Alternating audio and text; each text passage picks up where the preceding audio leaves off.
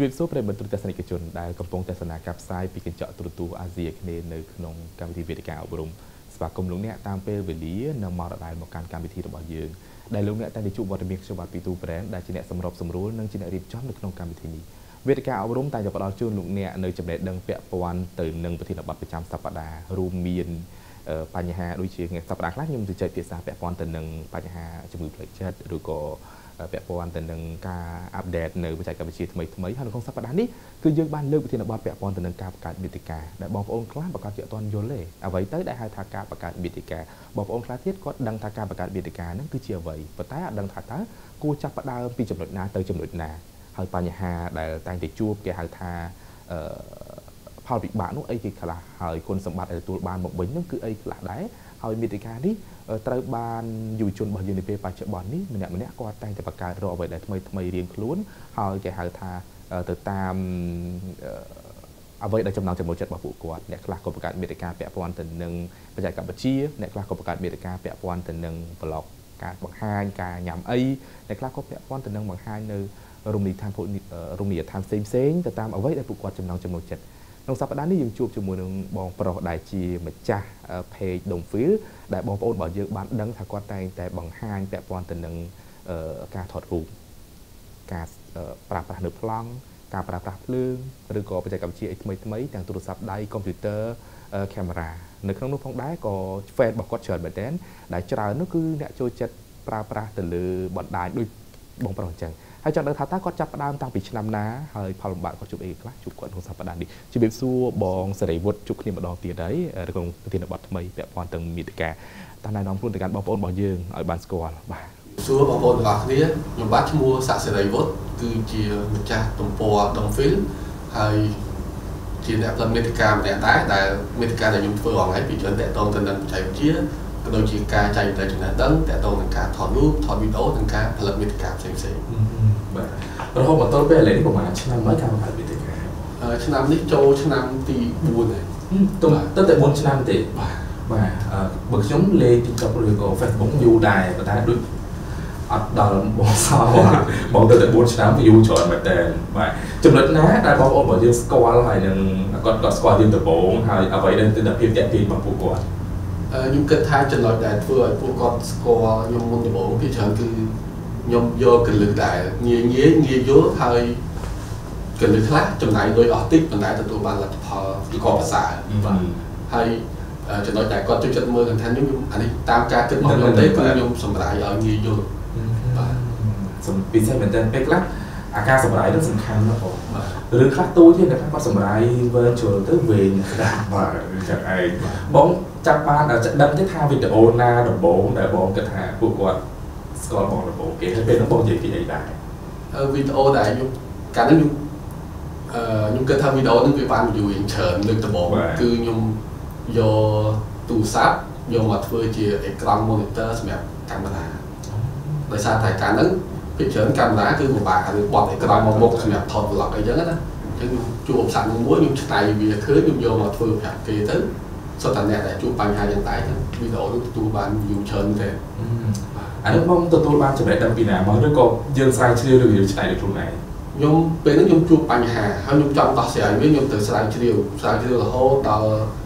យើងមើល YouTube មើលអីចឹងណាតែចុងក្រោយក៏អត់មានតែគេនិយាយចំដែរយើងឆ្នៃយើងយកអាបន្តិចបន្តិចមកគុំចូលវាមកបានលទ្ធផលចឹងនេះពេលខ្លះពេលខ្លះគិតដែរទេថាការឆ្នៃអញ្ចឹងវាអាចធ្វើហានិភ័យដាក់ទៅផ្ទុំទៅថ្មី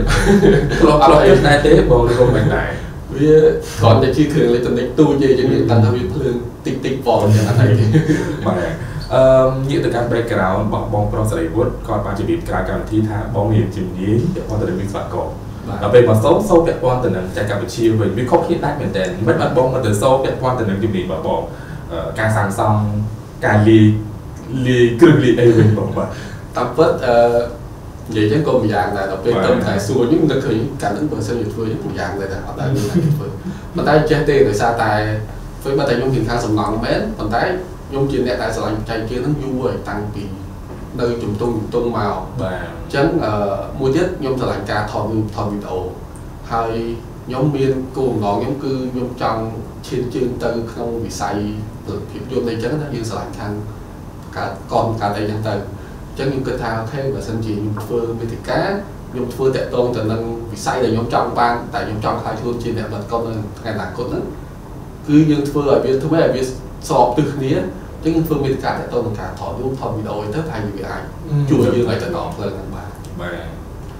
អឺដោយសារបងឆ្លៃខាងនេះដែរបាទប៉ុន្តែរហូតដល់ពេលឥឡូវជំនាញដែលបងរៀនហ្នឹងទុកវាចោលឬក៏យ៉ាងម៉េចដែរអឺអាចថាបោះបង់ចោលហើយ និយាយទៅពេលដែលយើងរៀនវិស្វករហ្នឹងយើងអត់ដឹងខ្លួនថាយើងឆ្លាញ់ខាងថតអីហ្នឹងទៅឡើយទេយើងរៀនទៅតាមបរិបទសង្គមកាលហ្នឹងយើងគិតថាការងារស្រួលរករៀនខាងសំណង់តែខែច្រើនអីចឹងទៅក៏យើងទៅរៀនខាងហ្នឹងទៅប៉ុន្តែនៅពេលដែលយើងធ្វើការច្រើនឆ្នាំមកបានយើងដឹងថាតែបើយើងអត់សូវស្រឡាញ់ខាងហ្នឹងខ្លាំងបានទេយើងស្រឡាញ់ខាងនេះជាងអញ្ចឹងបានយើងបដូរវាមកក៏ប៉ុន្តែពេលដែលយើងស្រឡាញ់អីមួយបើយើងខំប្រឹងទៅវាជោគជ័យវាមិនប្រកាសថាតើរៀនជំនាញអីអឺ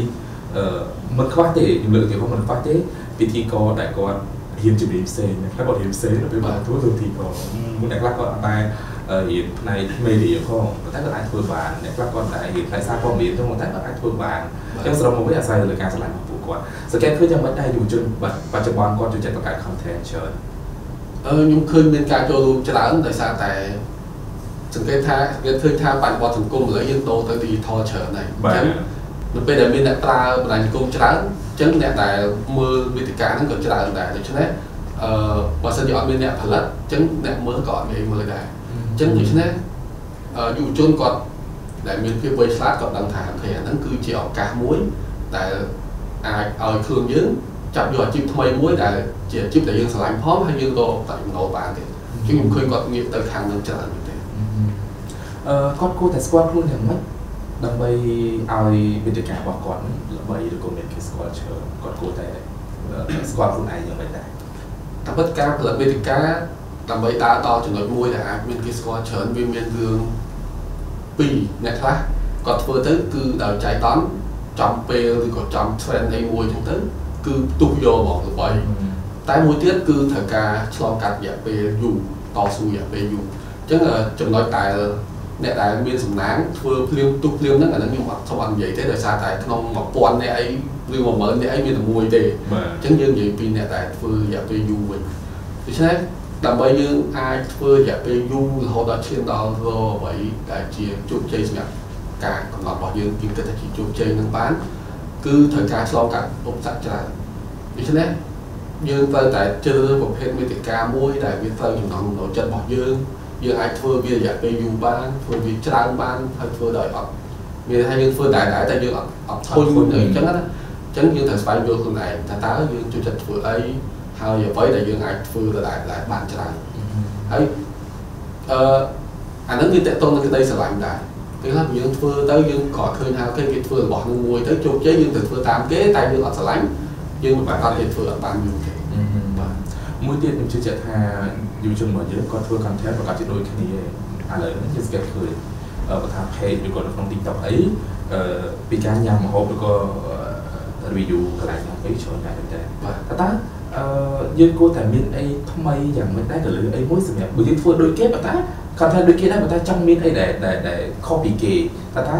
ជាការចែករំលែកបងទៀតដែលជាសិស្សច្បងវិញថាយើងគួរតែធ្វើម៉េចអឺហ្នឹងជាផ្ដោតគំនិតមួយដែលកាលមុនយើងអាសាលឺគ្នាពេលចង់ធ្វើ content នេះមួយ ពូតិចដូចគេដូចអីចឹងហ្នឹងប៉ុន្តែមកដល់ឆ្នាំ2023នេះគឺរៀងដូរតិចទៀតហើយ content តាមពិតគឺវាអាចដូចគ្នាបានសូម្បីតែយើងឃើញគេធ្វើពីម្ហូប review ម្ហូបយើងទៅធ្វើដូចគេហ្នឹងក៏មិនមែនជា content ដូចគេដែរមូលហេតុព្រោះថាយើងជាតែបង្ហាញគឺជាខ្លួនយើងគេគឺជាខ្លួនគេសំឡេងខុសគ្នាមុខដូចគ្នាអាកប្បកិរិយាខុសគ្នាអញ្ចឹងគឺអត់អាចជា content តែដូចគ្នាបានទេ យើងគួរតែកុំគិតថាយើងធ្វើទៅខ្លាចជន់គេឬក៏ដូចគេពេលខ្លះយើងធ្វើដំបូងយើងទាញយកអាការជំរុញទឹកចិត្តឬក៏ inspiration ហ្នឹងពីគេមកច្រើនយើងអាចធ្វើទៅស្តៀងគេយើងអាចនិយាយថាស្តៀងប៉ុន្តែទៅពេលដែលយើងធ្វើយូរយូរទៅយើងនឹងរកឃើញខ្លួនឯងកាកិរិយារបស់យើងរបៀបរបបនិយាយរបស់យើងរបៀបការថតរបស់យើងការដែលយើង present ទៅគឺខុសគ្នាទាំងអស់អញ្ចឹងអត់អីទេយើងអាច ធ្វើអ្វីដែលជាយើងហ្នឹងធ្វើមករយៈពេលទៅយើងនឹងរកឃើញអ្វីដែល unique របស់យើងហ្នឹងគិតថាយើងគួរតែចំណាយពេលរយៈពេលប្រហែលដែរដើម្បីឲ្យ content របស់យើងហ្នឹងវាចាប់ផ្ដើមមានគេស្គាល់ច្រើនឬក៏អាស្រ័យទៅលើគុណភាពនៃ content របស់យើងអអឺឥឡូវនេះគឺពិបាកកំណត់វាអាស្រ័យទៅលើគុណភាពអាស្រ័យទៅលើថាតើយើងផលិតវីដេអូញឹកញាប់ប៉ុណ្ណា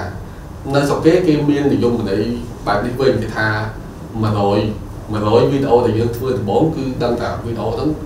បែបមកអន់មកអត់បាច់ខ្វល់វាគ្មានបានកាយទេគេប្រើពីអញ្ចឹងអញ្ចឹងអានេះវាមិនមែនជាតួលេខមួយដែលជាក់លាក់អីគ្រាន់តែវាជាសារមួយមានន័យថាវាត្រូវតែឆ្លងកាត់រយៈពេលមួយវែងដែរអញ្ចឹងបើសិនជាយើងធ្វើច្រើនយើងធ្វើញឹកញាប់ហើយយើងដាក់តបចំណិតយើងត្រូវណាមានថាពីមួយវីដេអូទៅវីដេអូយើងអត់គិតថាខ្ញុំធ្វើដើម្បីជោគជ័យបុកទៅតែភាពជោគជ័យទេ យើងធ្វើដើម្បីអភិវឌ្ឍសមត្ថភាពធ្វើដើម្បីស្វែងរកអ្វីដែលថ្មីពីវីដេអូទៅវីដេអូមានអ្វីដែលជាការរីកចម្រើនអាហ្នឹងទើបយើងឆាប់ទៅដល់ភាពជោគជ័យនឹងជាបាទពេលខ្លះអឺធ្វើជាមួយការស្រឡាញ់តែកាលណាយើងស្រឡាញ់យើងធ្វើទៅយើងចេះតែឃើញអ្វីដែលថ្មីថ្មីឯងអឺជាបបិសោរបស់ខ្ញុំផ្ទាល់មនុស្សច្រើនមែនតើដែលជួយគ្រូរបស់ខ្ញុំគាត់ឲ្យខ្ញុំបង្កើត content គាត់ថាពេលខ្លះគាត់មើលគាត់មើលរបស់យើងឃើញ content ច្រើនមែនតើនៅលើខ្លួនយើង គាត់ខ្ញុំចូលចិត្ត make up ដោយសារយើងជាពិធីករស្រាប់យើង make up បងឯងថត make up ហ្មងណាតែទីថាម្នាក់ទៀតមកពឹបបងឃើញបងឯងអាសាលេងកៅអៅបងឯងសូពីកៅអៅវិញការស្លៀកពាក់ការរៀបចំខ្លួនទៅម្នាក់ទៀតមកពឹបគាត់បងឃើញបងឯង story ញ៉ាំអីរាល់ល្ងាចមកយាយខ្ញុំចិត្តញ៉ាំអីរាល់ល្ងាចខ្ញុំ story រាល់ល្ងាចសារខ្ញុំញ៉ាំអាហារក្រៅរាល់ថ្ងៃចឹងទៅបងឯងនេះរហូតដល់មាន page តាក់ទងមកឲ្យយើងនេះតែវាមិនមែនជាចំណងចំណូលចិត្តរបស់យើងអញ្ចឹងយុវជនរបស់យើងអ្នកខ្លះគាត់ រវល់តែស្ដាប់អាអ្វីដែលគេនិយាយមកធ្វើនេះធ្វើនោះពេលខ្លះគាត់អឺអេដូចទំនងមែនតាអាគាត់ធ្វើហ្នឹងវាមិនមែនជាការស្រឡាញ់ទេប៉ុន្តែដោយសារតែការដែលគេនិយាយយេអញ្ចឹងវាអាចថា fail ដែរពេល fail ដែរប៉ុន្តែត្រូវលួចបងប្រុសមកធ្វើជូនរកខ្លួនឯងឲ្យច្បាស់មួយទៀត content ដែលពេលបច្ចុប្បន្ននេះវាវាច្រើនពេកច្រើនរហូតដល់ថ្នាក់វាអត់មានកន្លែងណាចន្លោះមួយវាច្រើនមែនតើអឺបងសង្កេតឃើញថាសម្រាប់នៅពេលបច្ចុប្បន្នប្រហែលប្រហែលអ្នកដែលគាត់កាត់ content បងអាចដឹង អូខ្ញុំពិបាកប៉ាន់ស្មានខ្ញុំហ៊ាននិយាយថាប្រហែលតែច្រើនមែនទេមានប្រភេទ content ខ្លះគាត់បង្កើត content ទាំងយើងអ្នកមើលអត់ដឹងថាគាត់ជាអ្នកកើត content ទៀតអញ្ចឹងយើងយើងពិបាកប៉ាន់ស្មានទៅមួយទៀតសម្រាប់បងរហូតមកទល់ពេលបច្ចុប្បន្ននេះអឺសម្រាប់ការបង្កើតនៅក្នុងមួយសប្តាហ៍បងអាចបង្កើតបានបង content ដែរហើយសិស្សសិស្សជា content ដែលបង្កើតឡើង sponsor ឬក៏យ៉ាងណា ក្នុងមួយសប្តាហ៍បើសិនជាយើងឥឡូវយើងនិយាយតែវីដេអូហ្មងអាចវីដេអូតែម្ដងអាចនឹង3ឬក៏ជា2ឬក៏3វីដេអូក្នុងហ្នឹងអាចមានវែង2ខ្លីមួយទៀតអីចឹងណាបាទមានវែងមានខ្លីហើយប្រភេទមេតិកាហ្នឹងវាមានលាយជាការ sponsor ខ្លះនិងវីដេអូខ្លះគឺយើងធ្វើដើម្បីចែករំលែកចំណេះដឹងទៅដល់អ្នកមើលតែម្ដងយើងយកអត់ខ្វល់ពី sponsor ទេ ផលលំបាកខ្លះដែលបងជួបនៅពេលយើងបង្កើតមាតិកាមួយមួយពេលខ្លះមានអារម្មណ៍ថាយើងត្រូវគិតទេគិតថាមួយនៅក្នុងហ្វាយនឹងដល់ថ្ងៃដែលយើងត្រូវហត់ទៀតនេះទៅធ្លាប់ធ្លាប់គិតបែបអញ្ចឹងរកអីដែលថ្មីវាតល់ណាធ្លាប់ធ្លាប់មានតែធ្លាប់អឺហ្នឹងហើយពេលខ្លះយើងយើងឧទាហរណ៍ថាឥឡូវចេះយើងមាន schedule យើងដែរយើងត្រូវធ្វើ content មួយអាទិត្យ2ឬក៏1អីចឹងទៅហើយពេលហ្នឹងក៏មាន client គាត់ដាក់មកដែរអញ្ចឹង ពេលហ្នឹងយើងត្រូវគិតពី client ផងត្រូវគិតពីអាមេតិការបស់ខ្លួនឯងប្រចាំសប្តាហ៍ផងអញ្ចឹងវារៀងអស់អស់អស់ហើយតែធ្វើយើងធ្វើយូរទៅវាតែតែតែតែអញ្ចឹងណាអញ្ចឹងអាហ្នឹងគឺជាបញ្ហាមួយដែរពេលខ្លះយើងអាចគិតថាយើងមាន idea ហ្នឹងហើយប៉ុន្តែដល់ពេលយើងធ្វើចេញទៅមិនដឹងថាធ្វើទៅវាមានផលប្រយោជន៍ដល់អ្នកមើលឬក៏អត់អីចឹងអញ្ចឹងក៏អាចទៅជាអារម្មណ៍មួយអត់សូវចង់ធ្វើអាហ្នឹងត្រូវខំចិត្តទៅរកអីថែមមកទៀតបាទគាត់ថាចំណុចពិសេសអីដែរដែលយើងអាច ធ្វើឲ្យ client នៅបន្តធ្វើការមួយយើងបន្តទៀតអឺតែមិន client គេធម្មតានៅពេលដែលគេឲ្យការងាររបស់យើងធ្វើគឺគេប្រកាសជាចង់ឲ្យគ្រប់ KPI របស់គេដែលជាចំនួន impression ចំនួន reach ចំនួន view ចំនួន like អីចឹងណាកាលណាយើង achieve នឹងឲ្យគេបានច្រើនធម្មតាគេសប្បាយចិត្តហើយប៉ុន្តែក្នុងនាមជា content creator យើងអត់អាចអឺ ធ្វើម៉េចឲ្យវាបានគ្រប់មុខទេពេលខ្លះបើសិនជាយើងចង់បានរបស់ទាំងហ្នឹងឬក៏បំពេញតម្រូវការរបស់ client វាអាចនឹងផ្លាស់ចាកពីប្រភេទមេតិកាដើមរបស់យើងអញ្ចឹងដើម្បីជាអ្វីដែលល្អគឺយើងរកចំណុចកណ្ដាលឃើញរវាងប្រភេទមេតិការបស់យើងភាពឆ្នៃប្រឌិតរបស់យើងបូករួមជាមួយនឹងអ្វីដែល client ចង់បានថ្មីរកចំណុចកណ្ដាលឃើញអញ្ចឹងវានៅរក្សាភាពយូរអង្វែងនៃការធ្វើមេតិការបស់យើងមកយើងគប់ចិត្តមួយខាង ប៉ុន្តែ audience របស់យើងអ្នកទស្សនារបស់យើងគាត់មានអតិពលអវិជ្ជមានពីអ្វីដែលយើងព្យាយាមផ្គប់ចិត្តមកខាងពេលថាពីហ្នឹងមិនមែនថា client អត់ល្អទេប៉ុន្តែពីហ្នឹងពេលថាវាអត់អាចដើរទៅគ្នារហូតទេបាទអញ្ចឹងយើងត្រូវតែរកចំណុចកណ្ដាលហ្នឹងឲ្យឃើញមួយទៀតបងតើនៅពេលដែលយើងចាប់ផ្ដើម content ដំបូងអាសម្ភារៈដែលខ្លះយើងចាំបាច់ធ្វើប្រើអឺតាមប្រភេទ content ទេ content មួយចំនួនមានតែទូរស័ព្ទដៃមួយគ្រឿងក៏អាចធ្វើបានដែរ ដែលយើងអាចទូរស័ព្ទឥឡូវមានកាមេរ៉ាហើយក៏អាចកាត់នៅក្នុងនឹងបានដែរប៉ុន្តែបើសិនជាប្រភេទមេតិកាមកប្រភេទទៀតដូចខ្ញុំអញ្ចឹងតើតោនឹងការថតតើតោនឹងអីអញ្ចឹងគឺយើងត្រូវកោកកដូចជាកាមេរ៉ាអីទៀតហើយដើម្បីយកទៅមកបង្ហាញគេអញ្ចឹងបើនិយាយពី start ហ្មងទូចបំផុតឬក៏អបបាមាគឺតាទូរស័ព្ទដៃមួយគ្រឿងក៏ធ្វើបានដែរប៉ុន្តែគុណភាពគុណគុណភាពកាមេរ៉ាត្រូវតែច្បាស់ ឬក៏យ៉ាងបាទធម្មតាទៅពេលដែលយើងមានរបស់ដែលទំនើបជាងថ្លៃជាងគុណភាពវាល្អជាងតាមនឹងដែរប៉ុន្តែយើងត្រូវមានផ្នត់គំនិតមួយថារបស់ទាំងហ្នឹងគឺយើងអាចមានវាដោយឯងឯងទេអញ្ចឹងបើសិនជាយើងអត់មានយើងត្រូវតែចាប់ដើមជាមួយអីដែលយើងមានសិនហើយរបស់ដែលល្អល្អទាំងហ្នឹងនៅពេលដែលយើងធ្វើទៅវានឹងមានឬក៏ទុកមកដល់យើងបន្តតបទៅខ្លួនឯង បរិយាកាសបន្ទប់វិញមិនដែរបងបន្ទប់បាទបន្ទប់បរិយាកាសនៅពេលយើងបង្កើត content វិញថាសំខាន់ដែរទេនៅក្នុងការចូលរួមរយៈពេលយើងបង្កើតពេលខ្លះអ្នកខ្លះគាត់អត់សូវមានទុនធាននៅបន្ទប់ជួលអីចឹងទៅពេលខ្លះវាអាចមានសេរីចូលអីយ៉ាងមកគាត់ថាសំខាន់ដែរហ្នឹងគឺជាសំខាន់ខ្ញុំខ្ញុំសង្កេតឃើញថាមិនតែនិយាយទៅសឹងតែទាំងអស់គ្នាអ្នកដែលចាប់តាមដំបូងអាហ្នឹងវាគឺជាចំណុចគឺជាឧបសគ្គមួយរបស់គាត់សម្រាប់ខ្ញុំអឺខ្ញុំធ្វើ content ដំបូងខ្ញុំធ្វើនៅក្នុងបន្ទប់គេហើយ ពេលខ្ញុំធ្វើនេះខ្ញុំមានគ្រួសារហើយអញ្ចឹងពេលខ្ញុំថតខ្ញុំសុំគាត់ឲ្យចេញទៅក្រៅសិនទៅអង្គុយលេងនៅក្រុមអីចឹងទៅហើយខ្ញុំសុំ space ហ្នឹងដើម្បីថតអីចឹងទៅប៉ុន្តែនេះវាជាសំណាងមួយដែរព្រោះផ្ទះយើងអត់មានបរិយាកាសជុំវិញឬសំឡេងឬអីរំខានអីច្រើនប៉ុន្តែអ្នកខ្លះទៀតឬក៏យើងអាចថាយើងនៅតុកជួលឬក៏យើងនៅខេត្តសំឡេងមន់ទាសំឡេងអីច្រើនអញ្ចឹងក៏វាប៉ះពាល់ដែរអញ្ចឹង ធម្មតានៅពេលដែលចិត្តយើងស្រឡាញ់យើងចង់ធ្វើយើងនឹងរកដំណោះស្រាយឃើញឯងឧទាហរណ៍ថាដូចជាឆ្លៀតហើយធ្វើទៅផ្ទះអត់កើតទេក្នុងបន្ទប់នឹងអត់កើតទេឆ្លៀតទៅរកទៅកន្លែងនៅក្រៅហ្មងគិតទៅកន្លែងណាមួយវាស្ងាត់អីដើម្បីថតអីចឹងទៅបាទមួយទៀតបងអឺតើយើងគួរតែមានអីចូលរួមខ្លះជាមួយនឹង content របស់យើងគួរទៅគាត់ថាអឺដូចបងអញ្ចឹងគាត់ឲ្យខ្ញុំស្ដាប់សំឡេងទៅខ្ញុំសម័យទៅដល់គ្រឿងលេខទំនិញបាត់ហើយអឺ មានអារម្មណ៍ថាវាត្រូវជាមួយ electronic ជាងវាវាខុសពីការនេះអញ្ចឹងនៅពេលដែលយើងកំណត់ content អីមួយដែលយើងចង់បង្កើតហ្នឹងយើងគួរតែមានអសមត្ថភាពអីគេខ្លះសម្រាប់យើងធ្វើវាក្រៅពីការស្រឡាញ់ក្រៅពីការស្រឡាញ់គឺចំណេះដឹងទូទៅរបស់យើងភាគច្រើនយើងយល់ឬក៏ដឹងពីអ្វីច្រើនជាងគេខាងខ្ញុំហេតុអីបានជាខ្ញុំដោយបងនិយាយថាស្ដាប់ទៅខាង technology ឬបច្ចេកវិទ្យាហ្នឹងវាទីត្រូវឬក៏ស្រួលយល់ដោយសារតែ ខ្ញុំធំធាត់មកជាមួយបច្ចេកវិទ្យាហ្នឹងរៀងច្រើនគូសំថ្ងៃថ្ងៃខ្ញុំមើលកាលនៅក្មេងគឺខ្ញុំមើល YouTube មើលអីគេ review ហ្នឹងតាំងពីក្មេងមកដែរអញ្ចឹងទៅភាសាបច្ចេកទេសក៏ដូចជារបៀបនៃការបកស្រាយពីអីមួយយើងអាសាស្ដាប់អញ្ចឹងពេលដែលយើងនិយាយទៅវាងាយយល់ដែរអញ្ចឹងសម្រាប់អ្នកផ្សេងវិញលុះត្រាតែការធំធាត់របស់គាត់ឬក៏បរិបទនៃការរស់នៅរបស់គាត់គាត់នៅគៀបជាមួយនឹងអីច្រើនគាត់មានចំណេះដឹងទូទៅជាមួយនឹងអីច្រើន នៅពេលដែលគាត់មកធ្វើតទៅអាហ្នឹងក៏វាងាយស្រួលដែរអាហ្នឹងបើយើងនិយាយឲ្យវាយើងអត់អត់លើកពីក្តីស្រឡាញ់ទេយើងលើកពីចំណេះដឹងឬក៏អ្វីដែលវាអាចជួយយើងឲ្យធ្វើអាហ្នឹងបានប្រសើរបាទវាពិសេសមែនតើអញ្ចឹងបូករួមជាមួយបរិយាកាសរបស់គាត់បូករួមជាមួយការដូចបងនិយាយវិញទៅធំធាត់មកជាមួយទៅនឹងបញ្ហានេះឧទាហរណ៍អ្នកខ្លះគាត់ធំធាត់មកជាមួយនឹងគ្រួសារសិល្បៈអញ្ចឹងគាត់ធ្វើរបស់គាត់ពេលខ្លះគាត់បង្ហាញពីរឿងយ៉ាងឆាកច្រើនតែខ្លះធំធាត់មកជាមួយនឹងការគេហៅថា ជាងមាសបាក់ខាងលោកមាសប៉ាគាត់គឺជាអ្នកធ្វើមាសធ្វើអីទៅពេលខ្លះគាត់បង្ហាញខ្ញុំអ្នកខ្លះគាត់ធ្វើការធ្វើបែបហ្នឹងមែនពាក់ព័ន្ធទៅនឹងការស្លប៊ីស្លអីចឹងទៅតាមអ្វីដែលគាត់មានមកពេលខ្លះអាចបែបហ្នឹងរបស់ពួកគាត់មកជ្រុងមកបូករួមជាមួយនឹង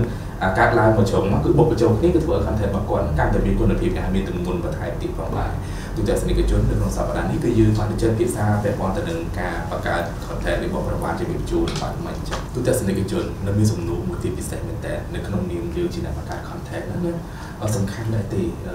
គេថាតំណាងឲ្យប្រជាពលរដ្ឋម្នាក់នៅក្នុងប្រទេសអឺជាលើកឧទាហរណ៍ខ្ញុំធ្លាប់ឃើញបងប្អូនរបស់យើងគាត់គាត់នៅក្រៅប្រទេស គេហៅថាគាត់បានមើលនៅ content អ្នកស្រុកខ្មែរធ្វើតែបរទេសគាត់ឃើញគាត់ថាហាអ្នកស្រុកខ្មែរគេហូបអញ្ចឹងទេតែប៉ិតមិនមែនហូបអញ្ចឹងទេគឺគាត់ចង់ឲ្យល្បី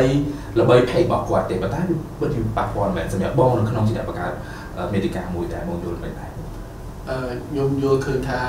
ពេលខ្លះយើងជាអ្នកដឹកមេតិកាយើងយើងនឹងស្មានដល់ដល់ទេណាថាអ្វីដែលយើងបានធ្វើទៅហ្នឹង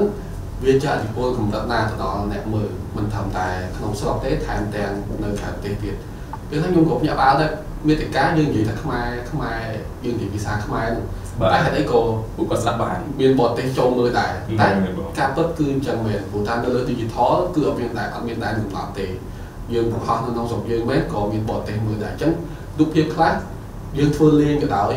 ឬក៏យើងធ្វើដើម្បីជាការកំសាន្តដើម្បីបាន view ក៏ដោយប៉ុន្តែបរទេសគាត់ស្ដាប់អត់បានហ្នឹងជាឧបសគ្គមួយប៉ុន្តែគាត់ឃើញរូបភាពអញ្ចឹងគាត់អាចគិតថាអូខេចុះប្រទេសហ្នឹង មានសកម្មភាពបែបហ្នឹងជារឿងសាមញ្ញឬក៏បែបណាហ្នឹងហើយលុះត្រាតែមានហើយបានគេធ្វើឲ្យមើលអញ្ចឹងណាអញ្ចឹងអាហ្នឹងយើងជាអ្នកផលិតក៏យើងគួរតែគិតមកជ្រុងហ្នឹងដែរថាអូខេយើងអាចលើកកម្ពស់មុខមាត់ប្រទេសក៏បានយើងអាចធ្វើឲ្យប្រទេសយើងប្រទេសថោនគេគេឈ្មោះឬក៏ប៉ះពាល់ដល់គេឈ្មោះប្រទេសយើងក៏បានដែរអញ្ចឹងអាហ្នឹងយើងគិតទៅវាអាចធ្វើឲ្យមានភ្ញៀវទេសចរមកលេងក៏អាចធ្វើឲ្យមានភ្ញៀវទេសចរអត់មកលេងឬក៏ ឲ្យធំតិចអ្នកវិនិយោគក៏អាចជាអតិពលដែរត្រឹមត្រូវហើយបើយើងព្រមតិចយើងថាធំពេកយើងព្រមមកត្រឹមក្នុងស្រុកពេលខ្លះពាក្យពេចន៍ដែលយើងនិយាយស្ដីទៅមានអ្នកមើលឬក៏កូនក្មេងជាពិសេសគឺកូនក្មេងគាត់នៅជាกระดาษសនៅឡើយគាត់ងាយនឹងប្រឡាក់ជាមួយនឹងអីដែលអត់ល្អអញ្ចឹងគឺថាបើយើងឲ្យអាល្អល្អច្រើនទៅគឺគាត់ទទួលយកហើយប៉ុន្តែអាអត់ល្អហ្នឹងបើយើងយើងឲ្យទៅវាគង់តែទោះយើងឲ្យទៅក្នុងកម្រិតណាវាអាចនឹងមាន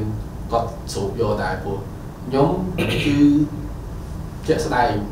ខ្ញុំចេញទៅក្រៅផ្ទះពិតជាធ្លាប់ឮមែនពាក្យខ្លះដែលខ្ញុំឮនៅក្នុង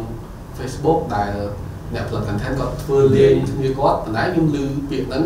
ពីក្មេងនិយាយហើយបើមនុស្សធំនិយាយយើងស្ដាប់ទៅគេវាអត់ស្អីណាប៉ុន្តែនៅពេលដែលពាក្យហ្នឹងចេញពីមាត់ខ្លួនឯងបានយើងដឹងហើយមិនគួរណាវាដល់កម្រិតហ្នឹងណាបាទបាទជាក់ស្ដែងឥឡូវលោកឧទាហរណ៍អ្នកខ្លះ អឺគាត់លក់គ្រឿង cosmetic ឬក៏លក់អីជាអ្នក online ជាអ្នក online គាត់ live គាត់ live ចូលចិត្ត live ជេឧទាហរណ៍គាត់សាមញ្ញមែនតើអ្នកខ្លះចូលចិត្តចូល comment ឲ្យគេជេរសុបាយចិត្តខ្ញុំពិតជាអត់យល់មែនអត់យល់ថាបងប្អូនបើយើងគិតមិនដែរជេរខ្ញុំមួយមកវាទៅនិយាយវិញទាំងទាំងទាំងឪពុកម្ដាយគាត់គាត់ខឹងខ្លាំងបានគាត់ដាច់ចិត្តជេរកូនប៉ុន្តែដល់ពេលកូនវិញពេលខ្លះ comment ឲ្យគេជេរហើយគេជេរពេលខ្លះគេជេរមិនជេរព្រោះណាជេរសិត ពាក្យធ្ងន់ធ្ងរមែនតើហើយបាទខ្ញុំពិតជាចង់ដឹងអារម្មណ៍អារម្មណ៍អ្នកមើលតើគាត់ហេតុអីបានគាត់ពេញចិត្តឲ្យគេជេរយេអាហ្នឹងការគិតរៀនខ្លួនរបស់ប្រព័ន្ធជីវិតជូនអញ្ចឹងវាពិតជាសំខាន់មែនទែនក្នុងនាមយើងជាអ្នកផ្សព្វផ្សាយអ្នកមានឥទ្ធិពលនៅលើ social media មិនតែគាត់ទេនេះអ្នកដែលមានឥទ្ធិពលលើ social media ទាំងការបញ្ជូនសារចេញទៅខាងក្រៅទាំងការបញ្ជូនសារនៅក្នុងប្រទេសគឺពិតជាពិសេសហើយអ្នកលេង Facebook ឬលេង TikTok ឬបងបានជម្រាបជូនអឺមិនមែនតែមនុស្សចាស់ទេកូនក្មេងទុកសាប់ចោលកូនលេងកូនអស់ឃើញឡយនិយាយតាមធ្វើតាមពេលខ្លះចំណីអាហារខ្លះគាត់ញ៉ាំនៅក្នុងវីដេអូប៉ុន្តែនៅពេលដែលជាក់ស្ដែងក្មេងឃើញយកទៅញ៉ាំតាមអាចនឹងមានគ្រោះថ្នាក់គាត់ថាបានហើយគឺគឺបែបអញ្ចឹងឯងអញ្ចឹងអាចនិយាយថាពេលខ្លះអឺធ្វើគិតថាមនុស្សដែលកំពុងមើលយើង គឺគ្រប់ហេតុតែម្ដងហើយពេលខ្លះអាការនិយាយស្ដីចេញទៅខាងក្រៅហ្នឹងបើ僕ក៏ចោលដែរនៅក្នុងនាមខ្ញុំជាអ្នក speaker ម្នាក់ដែលខ្ញុំនិយាយទៅខាងក្រៅដែរអ្នកខ្លះគាត់ប្រើពាក្យអសរុហើយកំពុងមើលអាញអីចឹងបើមកចោលណាហើយកំពុងមើលអាញជាស្រ័យហើយអ្នកដែលកំពុងមើលស្រាប់តែអឺជាមន្ត្រីនៃមូលការជាអ្នកធំដុំអាចជាអ្នកទាំងអាសាគាត់ថាបានពេលខ្លះវាអត់ពិតជាអត់ត្រូវមែននៅក្នុងការប្រើប្រាស់ពាក្យសម្ដីយើងអាចមើលឃើញមនុស្សក្នុង view អឺរាប់ K នឹងជាណាគេខ្លះបានទេគឺបែបនឹងឯងអញ្ចឹងវាក្មេងតាមក្មេងឃើញហ្នឹងក្នុងផ្ទះរបស់ពួកគាត់ឪពុកម្ដាយនិយាយកូនប៉ាម៉ាក់ធម្មតាតែហេតុម៉េចកូនខ្ញុំចេះប្រើពាក្យអញគឺអញមកពីទូរស័ព្ទដៃនេះឯងអរគុណមែនទែនបងប្រុសសម្រាប់ការចូលរួមបងមានអីចុងក្រោយផ្ដាំទៅកាន់បងប្អូនរបស់យើងជាពិសេសអ្នកដែលគាត់ទៀនបង្កើត content បាទតើមានការចូលរួមអីខ្លះគួរតែទីបំរើអីក៏សង្ខេបមកវិញបាទអឺជាចុងក្រោយខ្ញុំគាត់ចាប់ផ្ដើមចាទៅយុវជនជំនាន់ក្រោយថា មេតិកាឬក៏បណ្ដាញសង្គមនេះគឺជាឱកាសដ៏ល្អមួយបើសិនជាយើងយល់ឃើញថាវាជាផ្លូវមួយដែលអាចជួយឲ្យយើងឈានទៅដល់គោលដៅឬក៏ភាពជោគជ័យដែលយើងកំណត់នឹងបានគួរតែចាត់ពីឥឡូវទៅព្រោះថាអឺបរិបទសង្គមគឺបដូរហើយចាប់ពីពេលនេះទៅអ្វីៗគឺទៅ digital ហហើយយើងពិតជាអាចទាញប្រយោជន៍ពីបណ្ដាញសង្គមនឹងបានពិតប្រាកដមែនពេលខ្លះយើងមិនគ្រាន់តែទាញយកផលប្រយោជន៍ទេ យើងក៏អាចជាមនុស្សម្នាក់ដែលចេះអធិពលល្អទៅដល់អ្នកដែលជុំវិញខ្លួនយើងបានដូចគ្នាហើយបើសិនជាចង់ចាប់ដើមកុំរងចាំតតែមានអ្វីគ្រប់យ៉ាងទើបចាប់ដើមចាប់ដើមជាមួយអីដែលខ្លួនឯងមានសូម្បីតែទូរស័ព្ទដៃមួយគ្រឿងហ្នឹងក៏យើងអាចចាប់ដើមបានដែរបាទចាប់ដើមធ្វើពីឥឡូវទៅយូរនឹងឆាប់គង់តែ លើមកយើងចាប់មកមកយើងរងចាំឱកាសដែលយើងមានគ្រប់គេធ្វើអស់លេខទៅហើយវាអាចជំនួសពេលទៅហើយបាទអរគុណមែនតើបងអរគុណម្ដងទៀតសម្រាប់ការចូលរួមនៃបន្ទុកទស្សនិកជនពេលវេលានៅក្នុងកម្មវិធីរបស់យើងមកឈានចូលមកដល់ទីបញ្ចប់ខណៈនេះវត្តមានយើងខ្ញុំទាំងពីររួមទាំងក្រុមការងារសូមអរគុណសូមគោរពលា